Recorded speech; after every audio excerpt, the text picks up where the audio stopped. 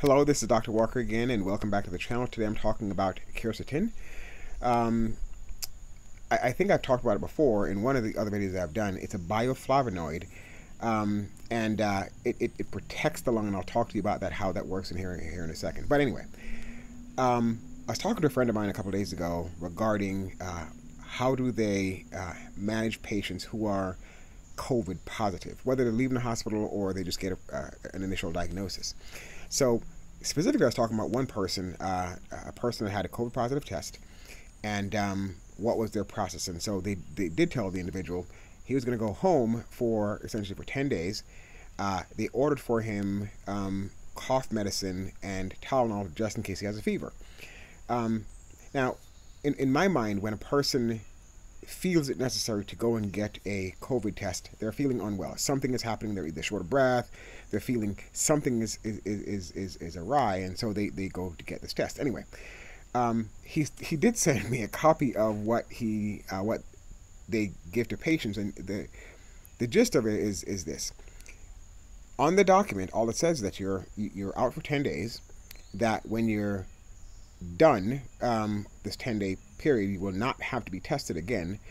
Um, you will just go back to go back to work, and if you're feeling worse in the process, um, then go to the hospital. Now, there's just so much wrong. There is just absolutely so much wrong with that whole process, um, because I can imagine a layperson. What do they, you know, how do they understand? What does that mean unwell, right? Does it, you know, does it mean if you're just not feeling yourself today, then go to the hospital? You know, are there criteria that you can use to then say that you should use to say, you know, if this, then this. If you're feeling these things, then do this. Right? right? When I did general medicine a long time ago, when we discharged patients from the hospital, um, or they had a positive test, whatever it may be, there was always some kind of uh, regimen for them, and essentially, uh, sort of the if-then this principles, right, apply to all of those things. And so I was kind of surprised that, you know, there were no sort of blood pressure parameters, there were no pulse ox parameters, there were no um, fever parameters, there were no, right, you know, shortness of nothing in terms of uh, what to do if things happen to you. Now, I, I think if you are a physician, if you are a, a nurse or one of the technology uh, support staff, I think for the most part you'd understand essentially what, you know, what blood pressure parameters you should probably use or what pulse ox parameters you should probably use. But if you're, you know, a, a non-medical person, and again, I, I mean no disregard or disrespect from the standpoint, you may not understand those parameters pretty well enough for you to get to the hospital when you should. In fact, I would suspect then, if you just sort of choosing, quote, go to the hospital when you're feeling unwell, that you may be behind the curve. So in other words, I don't know that people would, you know, in COVID just go to the hospital because they're feeling quote unwell. I think for for many people they would wait until they can't you know wait any longer and then they would consider going to the hospital. Um, so I was kind of surprised about that. So I, I thought I'll talk a little uh, about that and give some maybe do some videos regarding what my thoughts would be in terms of uh, what a person should do. But anyway, quercetin. I think perhaps that one of the least things you should offer. And, and, and again, when I talk about medications um, or over the counter things, first talk with your doctor before either changing your regimen or adding anything to your, to, to your list. I, because, you know, I don't know exactly what other complications you might, you might have, what other medication you're taking, and so I don't know what the interaction you might have. So talk with your provider about things I'm telling you about in terms of what you should do. Now, for me um, and my family, before, um, and, and, none of us have had COVID yet, and I've not been I've not had the vaccine. None of my family's had the vaccine. Um, but before um, any of that happens, we are taking, and again, I've made a list of things that we talked about before that we're taking. So in, in, in my case, I'm taking um, uh, quercetin, 500 milligrams every day with uh, 30 milligrams of zinc. That's the, that's one part. And vitamin D, as I said before, I talked about what I take with vitamin D and vitamin C as well, but specifically quercetin on, on this video. So that's what I do. 500 milligrams of quercetin um, with my zinc every day. Now, um, and, and, this is kind of similar to the EVMS protocol that they use as an outpatient uh, process of parameters for people uh, before they have a diagnosis of COVID.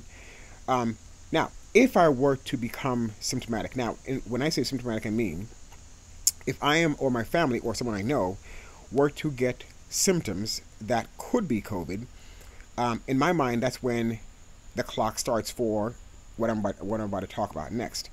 Um, if you were to become symptomatic, so symptomatic from of I'm going to get a COVID test today. Once I have that in my hand, once I have that as the thing that I'm thinking about, I'm going to start several things. So for me, I would then um, double up on my, in, in, fact, increase my quercetin. Now, what that means for me would be I would do a thousand milligrams of quercetin with um, a 30 milligram of zinc twice daily. So a thousand milligrams twice daily, and zinc with either with each of those uh, dosing. So a thousand milligrams of quercetin with 30 milligrams 30 milligrams of zinc. Uh, do that essentially twice a day. I still do my vitamin my vitamin D and my vitamin C. I would bump up now to three grams. So I take one in the morning, one at lunch, and one in the afternoon. So that's what I would do. But again, there's whole lots of other things that a person should do. I would not wait though. I would not wait until I'm quote feeling uh, very very sick to start this process. Nor would I wait until my test results come back to be positive. So in other words, if I'm feeling symptomatic at that point, I'm behind the curve already. Right. Okay. So quercetin as I said before, it's a, it's a bioflavonoid.